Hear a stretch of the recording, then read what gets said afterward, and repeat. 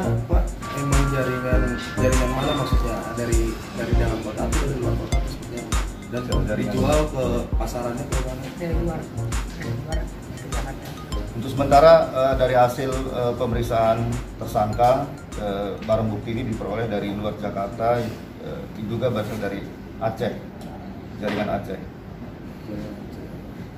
Kalau total berat keseluruhan jadi yang berhasil diamankan oleh jajaran ini berapa Bapak?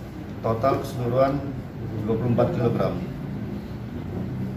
Mereka eh, menjual ini sasarannya ada market tersendiri atau seperti apa?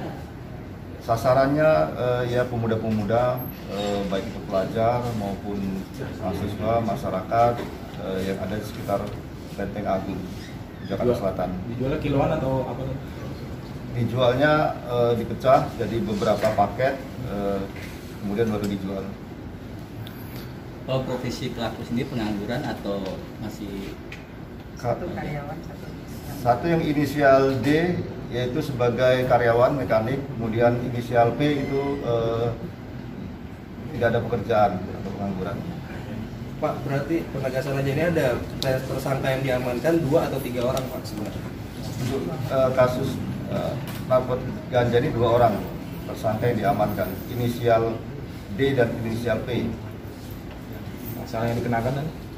Pasal yang dikenakan yaitu eh, Undang-Undang Narkotik nomor 114 eh, ulangi pasal 114 dan 112 Undang-Undang Narkotik yaitu eh, mengedarkan dan memiliki narkotik jenis ganja.